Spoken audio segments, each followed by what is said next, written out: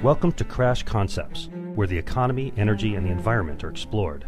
Up next, fresh ideas and insights into the factors that are driving the world and shaping your future. Presenting information you can't afford to live without, here's Chris Martenson. Welcome, everyone, to this Peak Prosperity podcast. It is July 18th, 2017. I am your host, Chris Martenson. The Federal Reserve is both harming people today and saddling the future with extraordinary risks. Now, as you know, that's been our view here at Peak Prosperity for many years, starting with Greenspan, through Bernanke, and now into Yellen. Now, on June 28th of 2017, the United States Congress held a hearing entitled The Federal Reserve's Impact on Main Street Retirees and Savings as you know, this is something we've been following uh, those impacts for, for years. And I was so excited to see this particular hearing come forward. So we followed and we featured this live discussion as it unfolded under our featured discussion section at the site. One of the invited experts that gave testimony was Alex J. Pollock, and he's today's guest for this program. You know, what I found fascinating about the hearing was that out of the four experts that had been impaneled, three of them might as well have been regular readers of ours over the years, or perhaps you'd think we've been learning from them. Either way, our views are no longer fringe, but held by three out of four financial experts brought in to testify, and it seems like common sense. Actions have consequences. The Fed's actions have had enormous consequences, and it's good to see them publicly aired finally. So we'll get into this in more detail, but the synthesis is that the Fed's policies have badly hurt savers, Main Street, and retirees while transferring those losses over to the financial system to become its gains. I was particularly taken by the clear, level headed, fact based testimony of Alex J. Pollock. Alex is Distinguished Senior Fellow with the R Street Institute, a nonprofit, nonpartisan public policy think tank. Alex joined R Street in January of 2016 from the American Enterprise Institute, where he was a resident fellow from 2004 to 2015. And he previously was president and CEO of the Federal Home Loan Bank of Chicago from 1991 to 2004. He also serves as a director of the CME Group, a director of the Great Lakes Higher Education Corp, and a director and past chairman of the Great Books Foundation, as well as many other board and service roles. He is also the author of Boom and Bust Financial Cycles and Human Prosperity, published in 2011. Alex, thank you so much for speaking with us today. Thank you so much for having me. Let's begin, Alex, if we could, with your testimony to the Congressional Committee on the Financial Services Committee. This was on the Fed's impact on Main Street retirees and savings. First, set the stage for us. Uh, what was the purpose of the hearing? Who convened it? And uh, why did they call you in? This is a hearing uh, of a subcommittee on monetary policy uh, of the Financial Services Committee, which is the committee of jurisdiction uh, of the Federal Reserve and, uh, and other things financial. long ago, that committee was known as the Committee on Banking and Currency just to get its uh, link mm-hmm. uh, to monetary affairs historically. And they were worried uh, about uh, what the Fed has been doing uh, over the last uh, number of years to, to distort financial markets, to I was going to say rob, but I'll t- I'll say take money away uh, mm-hmm. from savers and give it to mm-hmm. other people. Uh, and in general, how uh, what should the relationship be uh, between the Federal Reserve and its uh, creator uh, and overseer, the Congress of the United States, uh, which is a contentious issue, as you know, because the Fed believes and is fond of strongly promoting the idea that it should be independent. That is, it should just be able to do whatever it wants. And this, I think, is a very healthy um, uh, reaction from the Congress and saying, well, we would really like to understand uh, what Federal Reserve you are doing and make it be clear uh, that the um, uh, no matter how exalted uh, an organization may be or think it is, where they are all all parts of the government are responsible to the elected representatives of the people, that is to say, the Congress. And as I said, that seems to me a very healthy development. Now, people in the United States believe that, we're told this all the time, that we operate under a democratic form of government. Several of the hallmarks of democracy include free and fair elections, you've got uh, basic protections of rights, uh, majority rule, open citizen participation. But one of those core tenets of a democracy is the right to either serve in the public interest or to vote in an elected representative. That is, accountability is supposed to be part of that equation. You've just touched on a really important part, which is who is the Fed actually accountable to in this story? If you believe the story of people who believe in the independence of the Fed, as they say, they're not accountable to anybody except themselves. But that's, uh, as your comments suggest, clearly an undemocratic idea. Uh, they have to be and they should be accountable to the legislature. Uh, and how to how to make that accountability real is a is a very important and interesting problem we need to keep working on. The the opposite of uh, a democracy is, of course, rule by self-appointed philosopher kings. Uh, philosopher kings are antithetical to the American tradition and to the proper American political philosophy, and we shouldn't have philosopher kings in the Federal Reserve any more than we have them anyplace else. Well, here, here's where this gets a, a, little bit tricky. So I wanted, I, I, will get back to the testimony. I really want to dive into the impacts that have been recorded on uh, Main Street retiree savers, all of that. But it was a number of years ago that Bloomberg Markets ha- had to go in through FOIA uh, requests and really pry out of the Federal Reserve some documents to say, hey, what were you doing there during the height of this panic and, and in the years afterwards? and they got I don't know twenty nine thousand pages of documents out of them. But it turned out that seven point seven seven trillion dollars had been loaned out to a variety of organizations, including foreign central banks, U.S. banks, foreign banks, you name it. Uh, and at the height of the uh, of the crisis in December 5th, 2008, 1.2 trillion dollars was out the door at below market rates. Doesn't that seem like something that that uh, the public should have at least some insight into? And and if not, tell me. I don't understand the argument of the people who say no, no, that's private. That should be, um, you know, for the Fed to have the independence it needs. It needs to be able to funnel up to 1.2 trillion dollars out in the dead of night to whoever it wants to. Nobody should be able to see that. How do how do you, can you help me understand the argument that says there's there's um there's no way that there, there's going to be any uh, possibility for, um, let's just say, um, malfeasance to occur in that in, in, in such a moment? Well, I can't. I cannot help you understand the argument that the public should not be aware, and the elected representatives of the public, uh, what the Fed has done and what's going on. Uh, that just seems to be, uh, to me, to be fundamental. Mm-hmm. Well, it's uh, certainly fundamental from from the standpoint of transparency, of understanding. These are public monies we're talking about. So let's circle back. I thought at, at that hearing, from what I watched, I thought several of the attending congressmen and congresswomen asked really good questions. Uh, you know, even, even more than I, I, I, was I was pleasantly surprised. Did you think so?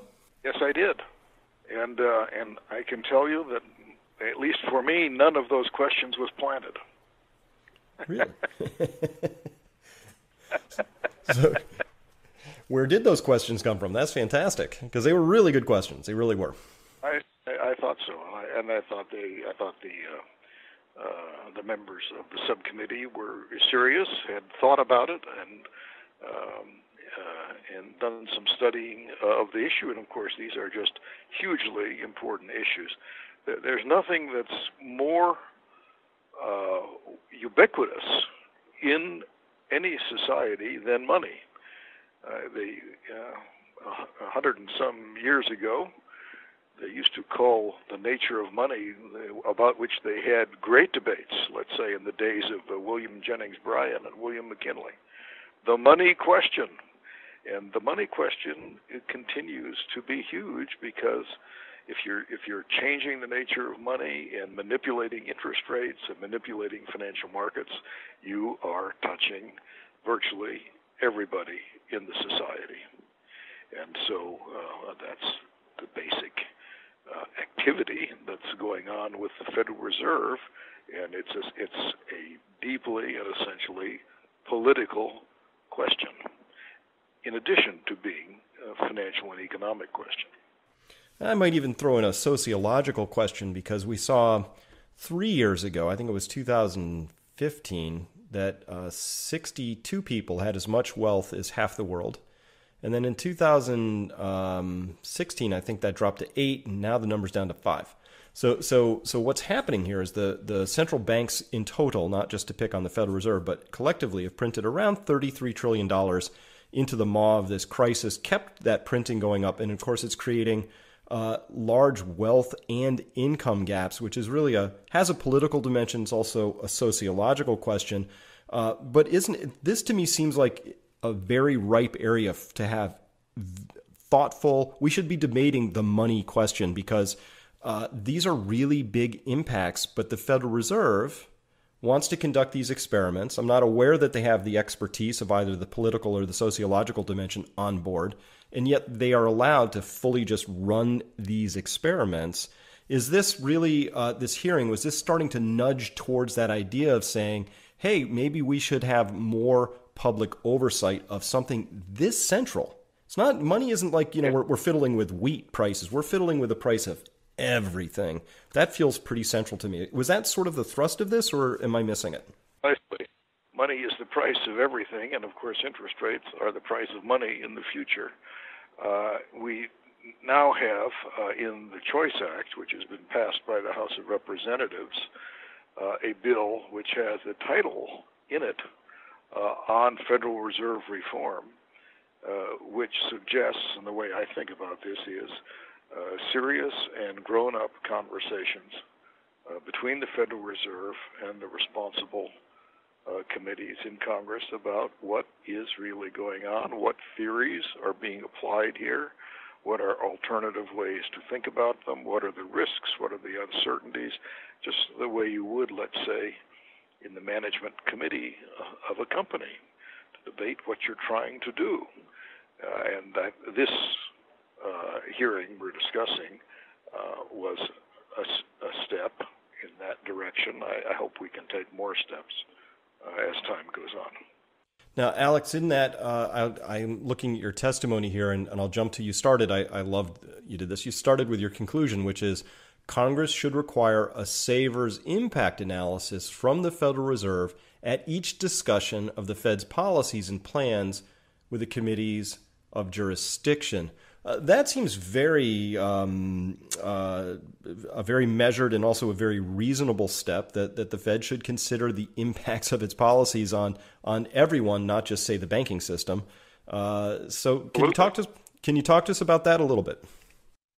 Yes. Well, we we know that uh, for long term growth uh, of the society, but also for the well-being of individuals and families, we have to have saving, and that long periods, uh, such as we've had, in which the Federal Reserve manipulates uh, real interest rates, by by which we mean, of course, interest rates minus the inflation rate, uh, uh manipulates real interest rates to be less than zero, is punishing savers. It means if you save $100, it's worth 99 uh, at the end of the year. So how can it be that the this uh, key function and idea, economic, uh, political, sociological uh, idea of savings doesn't get uh, the full attention about what is happening? So in general, I think um, uh, he would be right to say, in, in trying to think about what um, what they what the Fed calls monetary policy, or what we could call monetary manipulation or monetary experimentation, to use the term you did. Uh, what is it doing to various important parts of the of the uh, of the society and the economy in and what about always remembering savers? That seems to me to be an idea that is actually impossible to argue with, but but it isn't done. So uh, my my proposal is that the Fed, as it comes up uh, to the Congress, to have what we would hope for as a uh, a grown-up, serious, substantive discussion about what's going on would always, in in addition to everything else it's saying, be talking about what is this policy doing uh, uh, for or against savings uh, and to savers. Now, the Fed's been conducting this negative real interest rate policy for a number of years. You were at the committee. Eight, eight years. Eight, eight very long years from my perspective. And uh, if you were going to summarize the, the other testimony you heard, what had what what what's what is the punchline? What has the impact on Main Street retirees and savings been of those eight years? Well, it's been highly negative. You have negative real interest rates. That is a negative uh, impact on savings and especially on conservative savers. Now, um, I want to come back to something you said before, which is the crisis. All right, there's the period of the crisis. In the period of the crisis, there's extreme uncertainty, and there is uh, experimentation and bailouts uh, going on. Um, we can always argue about what was the right way to do it, but that always happens in every crisis. Uh, there's always government intervention uh, uh, and experimentation. That's that's just an empirical law of the behavior of governments. All right. So, but now let's say the crisis is over. When did the crisis end in the United States? And the answer is in the uh, second quarter of 2009. 2009. That's eight years ago. So why, the question that I like to think about is, so why eight years later have we still got uh, this Federal Reserve manipulation going on? Uh, and in particular, why are we still taking money away from savers uh, to give to borrowers? Now, of course, there are all kinds of borrowers, but let me mention two of them in particular. So let's start with the saver. So the saver has hard-earned savings, prudently laid up uh, to to provide for emergencies and to provide for the future. And uh, let's say the interest rate has been something like 0.3%, something trivial, thanks to the Fed. Meanwhile, the Fed is trying to engineer annual inflation of 2% and has uh, publicly announced its plan is to have perpetual inflation, 2% forever. So if, if we're inflating at 2 and we're getting 0.3, the value of our savings is going down at 1.7% per year as long as this has been going on, and it's been going on eight years after the crisis ended. Okay, on the other side, that's an advantage to various kinds of borrowers. Some of them are ordinary people, but some of them are highly leveraged speculators. There's no nobody with one exception, which I'll come to, who gets more advantage out of negative interest rates than than people with a lot of debt uh, speculating in financial markets, and that makes it uh, much more profitable to carry on their activities. Now, the one exception is the government itself. That's an even bigger beneficiary because if the government wants to run big deficits, how can the Fed help it out? Well, how about by making the real interest rate you have to pay as the government to run your deficits negative? So, one of the things the Fed is doing by this policy is trying to uh, uh, trying to and succeeding in letting the government run its deficits and keeping the costs of those deficits down on the back of the savers. So what we have going on here is a huge transfer of wealth from savers uh, to borrowers, and the big we know the biggest borrower is it's the government itself. Yeah, this gets right to the heart of, of my critique and criticism of Fed policy over many years, which is I don't happen to believe These are my beliefs. I'll put them on the table. I don't. I don't believe you can print your way to prosperity. Uh, every time this has been attempted in all of history, all we see were temporary booms supported by overly abundant and even mispriced money. The resulting gains, as you've just described, are unevenly distributed. One sector loses, another gains. Speculators win, as you say. The middle class loses mostly. So, seen in this way, the Federal Reserve is, is not a prosperity creating institution like they like to paint themselves, but a, a redistribution machine that would probably make Karl Marx blush. Uh, is that too harsh? well, uh, I think I think among its very important effects are precisely redistribution. Now, now one of the uh, one of the congressmen present at this hearing was a Democratic congressman, uh, a friend of mine, he started off his opening comments saying, I think we need to think about the distributive or redistributive effects of Federal Reserve policy. And then he left, as they often, as members of Congress often do in hearings, they can go in and out. And I said I was so glad to hear Congressman Foster say that because that's precisely what I want to talk about the redistribution by the Federal Reserve from savers to other people. And uh, as you know, I went ahead and put a number on what I believe that redistribution has been, which is 2.4 trillion dollars since 2008. 2.4 trillion. Is that just lost interest, or is there another component to that? That is the uh, negative real interest rate. So we take uh, what we estimate as all of the individual savings there are in different forms CDs, treasury bills owned by individuals, uh, money market fund shares, savings deposits, uh, and we calculate the uh, interest rate received minus the inflation rate, the depreciation of the currency by the inflation rate. That gets us the negative real interest rate. Then we compare that to what would have happened if you had had positive real interest rates on such savings equal to the 50 year average of the period before, that is to say 1958 uh, to 2007.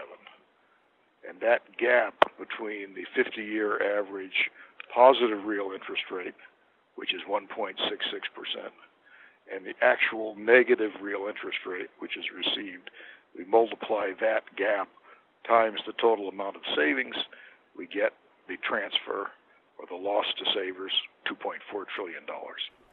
Alex, so let me talk laid about. Out, keep going.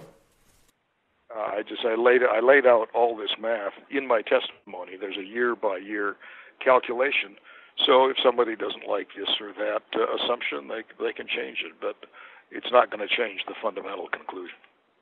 Right, and so so let let's take the implication of that conclusion. You know, there was some uh, millionaire real estate investor recently had chided millennials because they weren't buying houses because he said they ate too much avocado toast, you know, or something like that. But but traditionally, savers, which might be parents and grandparents, had gotten that interest income. You're, you're, you've identified 2.4 missing trillion dollars.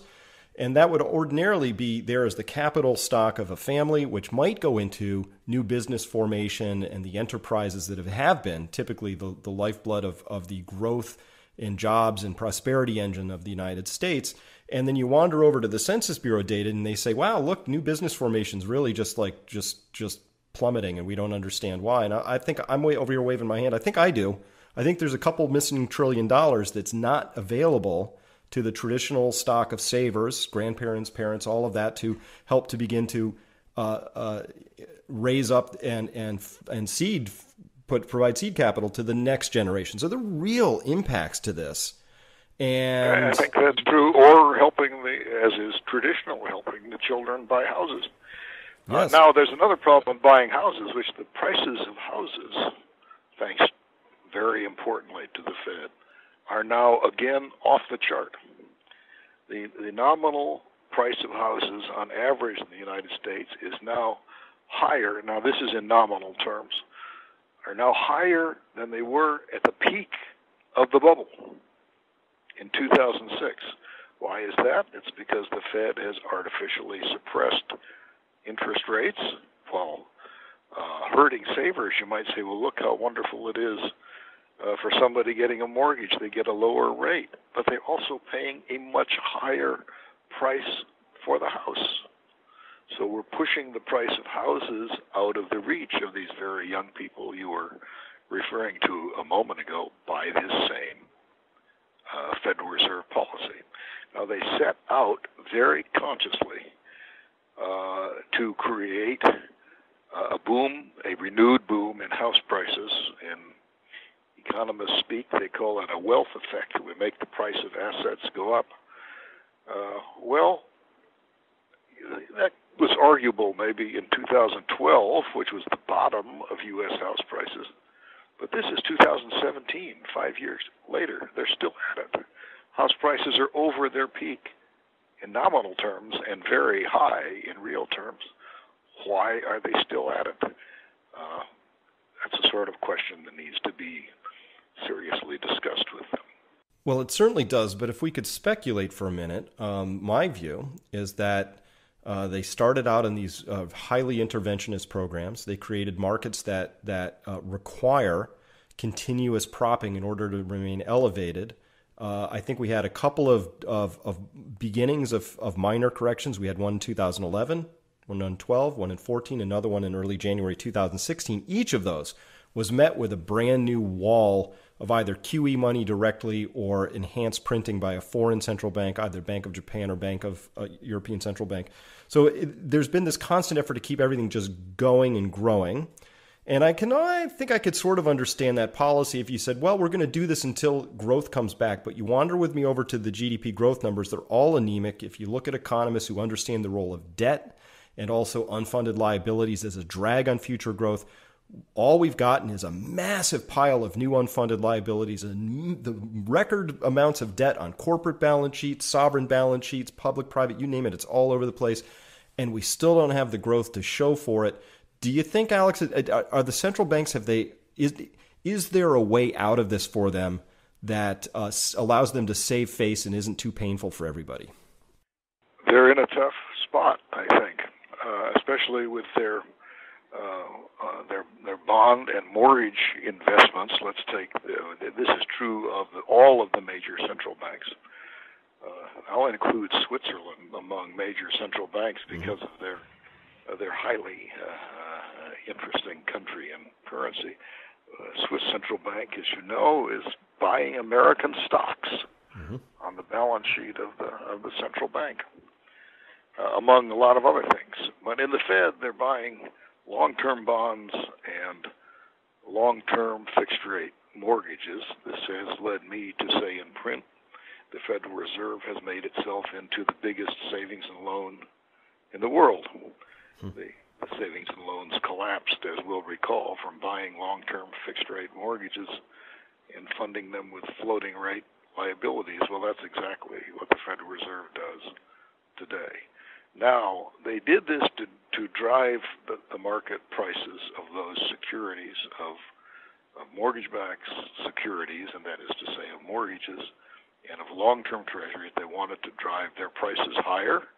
That is to say, they wanted to make the interest rates lower, and they wanted all that to make house prices higher, and they wanted it to make to make it cheaper to fund the big government deficits. Well, so you you bought a big enough position to move the market up, and now you've got this huge position, uh, 1.8 trillion uh, mortgages and two and a half trillion of long-term uh, government bonds. And now you say you would like to normalize, as the phrase is, and get out of it. But if the position was big enough to drive the market up, when you bought it, it's very hard to imagine how you can get out of it without driving the market down. But they don't want to drive the market down. So there's their dilemma. Well, the, the concern might be that it's not just drive it down, but it, it may well uh, go very far down, and then they'll lose all of their wealth effect. But then I think more importantly, they would have to admit a certain amount of defeat, saying, wow, we pumped everything up and all we got was this t shirt. yeah. Know?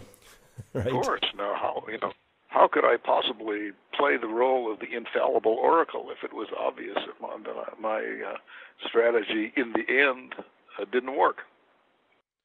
Right, and, and, so here we are at this at this really interesting critical juncture. But it, it's astonishing to me that uh, that that the damage actually to pensions, uh, just astonishing damage to pensions by this uh, the nominal as well as the real rates of interest, astonishing damage to savers. All of that. We're just starting to have that conversation now.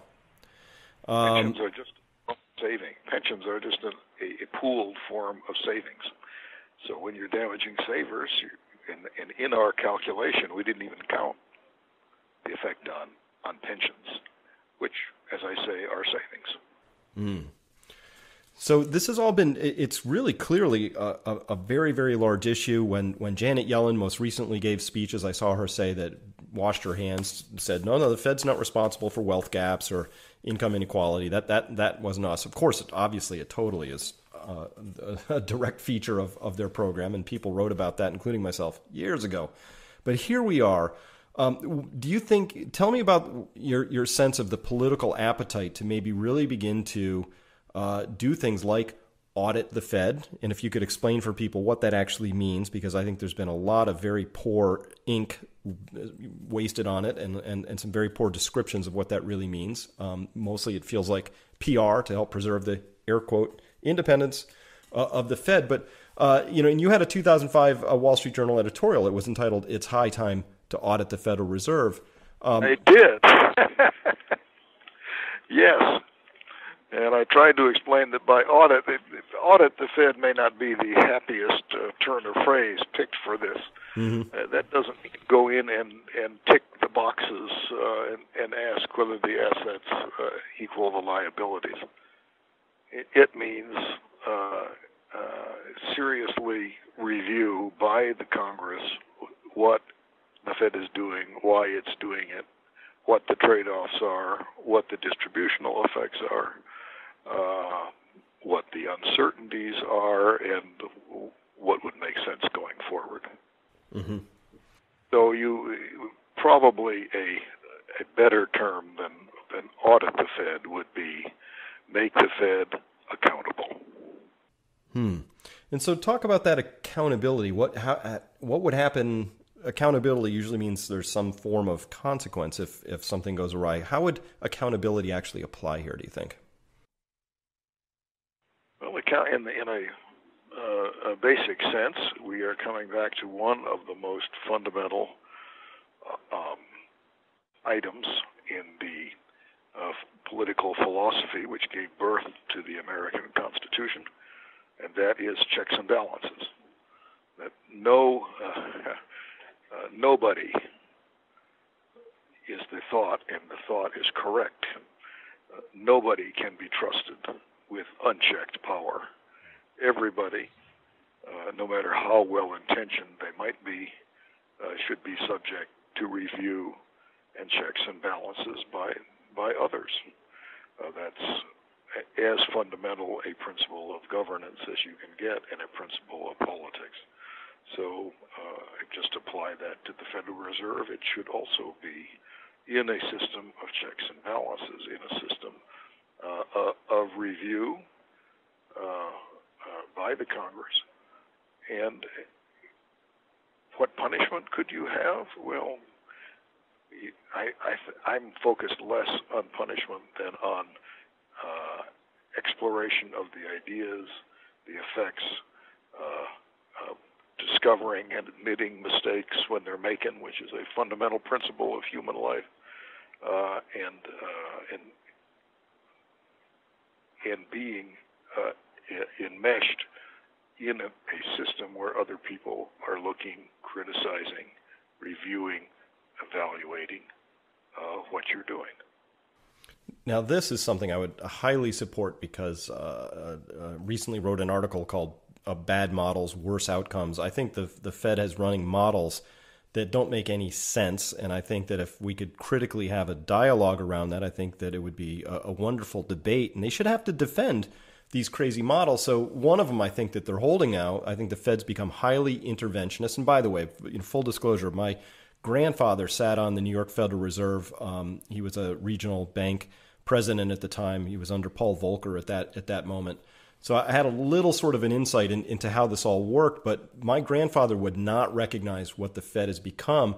Uh, you know, and if I would characterize their bad model, at least on one component, it seems to me that they believe they're in charge of assuring that we don't have busts after booms. It's just booms from now on. Seems rather misguided. It's not well grounded in history. In other words, we have to believe that this time is different, that these people in charge of the Fed now are going to do something that no humans have managed before, which is to eliminate the business cycle. And of course, they failed in 2000, they failed in 2007, and here we are with not just a housing bubble, but I think we've got what I call the mother of all bubbles. This is everything. This is the everything bubble. It's got it's it's like the everything bagel. It's got everything. Uh, it's, so it's, it's certainly a bubble in uh, bonds and stocks uh, and houses, and not to be forgotten, commercial real estate. Across all that and across every sector in bonds, junk bonds in Europe trading with it under 3%. Crazy, right? So here we are. Um, but that seems to be their model, which is, oh, we've figured out how to eliminate the business cycle. Uh, your thoughts on that? Is that a have they done it? That's a phrase uh, that uh, has been popular for a long time. The mistakes go far back uh, beyond the years you mentioned. They go back to, let's say, at least the post World War One uh, uh, inflation, uh, 1920 or so, followed by a big bust, and uh, and often since then the uh, the Fed, uh, like anybody else, is sometimes right and sometimes wrong, and sometimes disastrously wrong. Uh, they uh, it got to be a very popular saying in the 1960s, in the heyday of belief in uh, Keynesian economy, that the, the macroeconomists would come to Washington and advise the government, and they would, do you remember this phrase, fine tune, quote, fine tune the economy. Mm-hmm. And they actually seriously talked about doing away with uh, business cycles and crises, and then we had terrific cycles and financial crises in the 1970s, 1980s, 1990s, 2000s, and when you count the uh, European sovereign debt crisis, 2010s. Uh, so the cycles are not going away, and the central bankers don't know um, don't know how to make them go away. Um, and, and the problem is that the uh, because the future is inherently uncertain and unknowable. Uh, when when you do extreme and experimental things, uh, you very often get results that you not only didn't intend but had no way of expecting, uh, and that can surely happen with central banking and the money question. Now, one of the things I think the Federal Reserve has done uh, by driving interest rates will start in the early 1980s um, from, say, 14% on the long end on down to where we are at, at 1.8%, or from you know 7% on the short down to wherever we are, uh, zero, essentially. Now, I guess we're hovering around 1% right now. So, I, look, everybody's familiar with this number. The national debt of the United States, around 20 trillion. Unthinkable number just 10 years ago, but here we are. But if you look at the total underfunded liabilities plus the debts of the U.S., which includes corporate, household, all of that, uh, Bridgewater Associates, uh, Ray Dalio's organization, put together this chart and said, compared to GDP, what are the total IOUs with the United States? And the answer is they've just been going up steadily with little dips and wiggles, but pretty much steadily since the time uh, we've been dropping rates, and we're down here at the zero bound. But the punchline is this, Alex: we're at 1,100 percent IOUs to GDP. No country's ever been here before. How do we even begin to approach a number like that? What are the options that are available to begin to wrestle with uh, something like that, which to me looks so large? I, I only have one question floating in my head, which is who's going to eat those losses? But what are your thoughts there? Well, we know uh, that when debt gets very large relative to incomes, there typically are losses uh, as you say. Uh, and the uh, the first questions that arise after any big correction is precisely who is going to get the losses. So there is a zero sum game that goes on, like in a bankruptcy, uh, debt reorganization, We know there are big losses. Consider Puerto Rico today, for example. There are mm-hmm. big losses. Everybody can't be paid. Uh, but who is going to take what kind of losses? Who's going to get a 40% haircut? Who's going to get a 60% haircut? Who's going to get an 80% haircut? And so the great uh, debate becomes about who, who gets the losses. Now, one of the things, as, as we've been talking about, that happened after uh, after the last uh, uh, bust, uh, 2007 to 2009, is losses were, of course, distributed, uh, and a big bunch of the losses through the Fed has been put on savers in exactly the way we've been discussing. Or I guess whoever's on the other side of those IOUs uh, will certainly take it. I just, for my uh, life of me, I, I, have not been able to figure out how you get around a, a, debt load that. There's no historical example that says here's how it's been done before. We had England get out from a 260% debt to GDP load. That was from uh, the period of 1815 to 1900. Hey, they dismantled the Napoleonic war machinery. Hey, they had this thing called the Industrial Revolution, couple nice tailwinds. They did it, but nobody's been here before. And, and I haven't found anybody who can have a substantive discussion around this. I, I talked with Bradley Belt, um, former uh, executive director of, of the pension benefit guarantee corps and his only he just throws he shrugs his shoulders and says rapid growth. We have to have rapid economic growth. That's the plan. And and what i'm interested in in in how this hearing By the way, that's rapid real when you say that. That means rapid real growth. Correct. Not, Ra- not just nominal growth rapid real yeah, growth and that means you have to have productivity and productivity means you have to have uh, innovation entrepreneurship investment and savings uh, there's something else you can do. You know, you can have a currency reform, uh, like in Germany in 1922 or 23, when you got one new mark for 10 billion old ones. Well, then we're so. just then we're just answering the question: the Who's eating the losses? Who gets the losses? Absolutely. Yeah. All right. So if you uh, were suddenly made, you know, the the self-appointed philosopher king in charge at this moment in history, what would you begin to do to right this ship? Uh, first of all, I don't accept the job as philosopher king. Smart man. it's that they can't exist in in principle, uh, not me or anybody else. Uh, it's uh, look. This is the result of decades of development. Um, uh, and we uh, uh, will take decades of development uh, to address it. On the other hand, enterprising economies and enterprising societies have an amazing history of coming through incredible challenges of various kinds uh, and keeping the growth going. That's the good news. I, ha- I'm, uh, I have just finished writing a a book which is called Finance and Philosophy, by the way, at least that's the tentative title. Mm-hmm. And it has a chapter called Wonderful Trend and Troublesome Cycle. And, and there is an incredible long term, 200 year old trend uh, of growth and increasing well being for ordinary people like you and me uh, and enterprising societies. Uh, can keep that trend going, but you've got to have enterprise, innovation, science, entrepreneurship, savings, and the rule of law. So I guess that would be the list I would start with, and then, then I'd work from there. Well, clearly, a lot of things on that list uh, would need tweaking at best uh, at this point. So, um, with that, I'm really looking forward to seeing that new book come out, Alex. I want to thank you so much uh, for your time today. We are out of time at this moment for this interview, but uh, please tell people how they can continue to follow your work.